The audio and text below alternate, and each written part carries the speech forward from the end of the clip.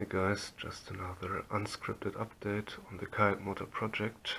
Um, so the main changes I made are that in the motor assembly we now have um, a fin so that the prop uh, hopefully doesn't get damaged and uh, also I included the mounting uh, for for the motor assembly um, yeah into uh, the main part here so that no pipe clamps are needed and there's less water resistance.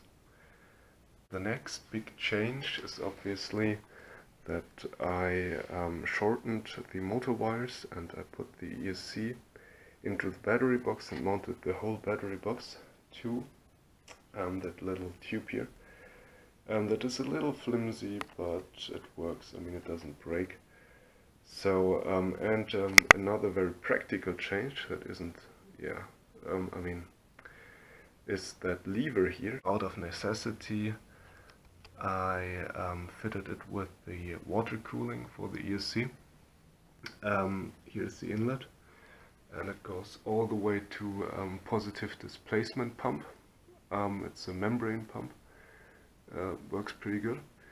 And then, uh, yeah, here it goes into the ESC, and um, in the video we can see that it kind of just sprays out the side. Also the um, the water pump, so it doesn't run dry, has a little um, a little trick. It switches on uh, when it comes in contact with the water. Here are the contacts, and I just put a little transistor switch uh, on there, and also starting capacitor for the motor because the pump is kind of yeah, it only starts with the capacitor.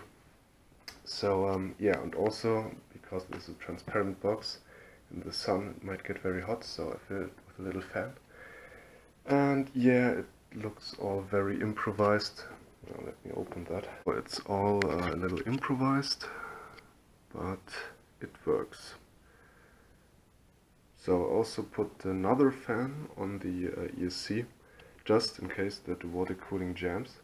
Um, I mean, I put a little self-made filter on the end of the tube, but just in case.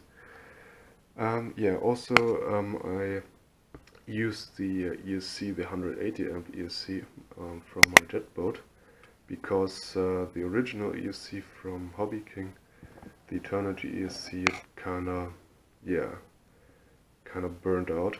And in the future, maybe I will also make some current measurements. Uh, so far it seems that uh, the motor on average uh, draws about um, maybe 15 amps